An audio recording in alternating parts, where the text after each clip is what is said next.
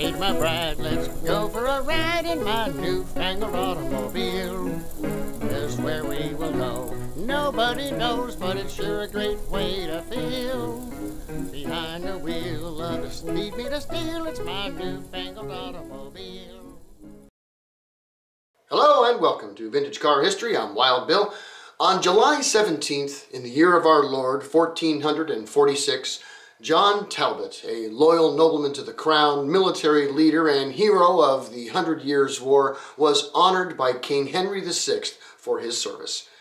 By letters patent, he was granted the hereditary titles of Earl of Shrewsbury, Earl of Waterford, and by this also the Lord High Steward of Ireland. Since that time, the Lord High Stewards of Ireland have presented the Sword of Mercy at the coronation of all British monarchs. And it was from this man's loins that some five centuries and twenty generations later, a man who by birthright also carried the same katana would be a man to dive headfirst into the British automotive industry.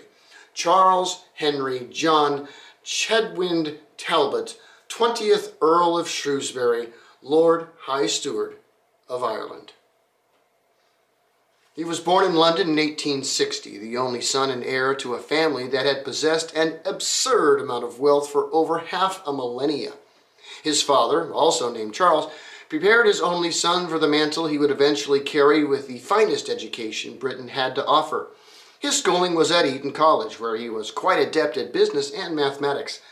His father passed away while he was at Eton, and at age 16 he inherited the family titles.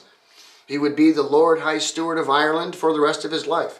Indeed, he personally presented the sword at the coronation of both King Edward VII and George V. The young Earl completed his education in 1883. He was quite fascinated with the transportation industry as a whole due to the rapid technological advances affecting it at the time. So in 1884, he decided to establish a new company in London that provided luxury taxi service he purchased 35 hansom cabs from the Forder Company, whom themselves were well known for making luxury cabs and carriages, even possessing a royal warrant for them. Hansom cabs are two-wheeled instead of four, and these were top of the line, plush, comfortable, and light, making them swift as well. Yet Charles had an idea. Rubber tires were all the rage with bicycles. Why not put them on his horse-drawn cabs? It would make them quieter, even more comfortable to ride in, and reduce the overall wear to the cab itself. So he equipped all of his cabs with them, being the first cab company ever to do so, and leased his cabs and horses to drivers for a not so modest one pound per day. Yet it worked for the cabs themselves were better than any others on the streets of London, and so passengers would pay a premium price for their service. The company expanded into Paris as well, and the good Earl was making both good money and connections in the industry. This led him into the tire business as well. He established a relationship with Dunlop to provide tires for his cabs, and in 1893 opened a distributorship in London to sell the tires to all customers. This business would expand considerably and would supplant the cab business as that company had been having labor disputes with the drivers to a negative effect. This in turn would lead Talbot to establish a new large public concern in 1900, the Shrewsbury ST and Chandler Tire Company Limited. This company would both distribute and manufacture products associated with personal transport.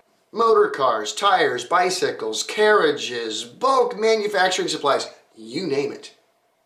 It was through this large company that Charles became acquainted with Adolphe Clement.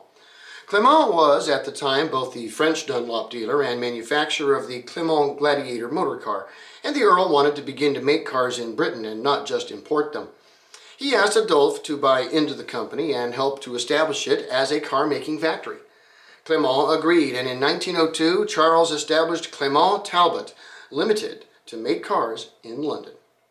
The new factory was amongst the most modern in the world and built to look like a palace instead of a factory, with marble walls and columns, fountains, frescoes gracing the halls, and of course the great family crest of Shrewsbury Talbot adorning the stained glass windows. The building still exists today, though it is now a performing arts center known as Ladbroke Hall and no longer used for manufacturing cars. The first Clement Talbot cars rolled out of the factory in 1903 and were essentially anglicized Clement Gladiators. And for the next couple of years, the cars were essentially English versions of the offerings of the French Clement Bayard Company, which of course Adolphe founded. It was in 1906 that the French connection was quietly dropped and Talbot became a true British make of car. The Talbot CT4-ZB was a beautiful 40 horsepower inline four-cylinder engine with a four-speed transmission and shaft drive. They proved to be quick and sporty gaining some com competition success in both hill climbs and circuit racing. A smaller version, a 12 horsepower car, was also offered the same year, and both Talbots were well received by the British public and beyond. By 1907, all Talbots were British designed and built, though the company would license build other cars on occasion. Talbots of pre-World War I were some of England's great sports and touring cars, and we'll see more of them in the future and Charles, the Earl of Shrewsbury and Talbot, would be a petrol head for the rest of his life, making, selling, driving, and enjoying his cars.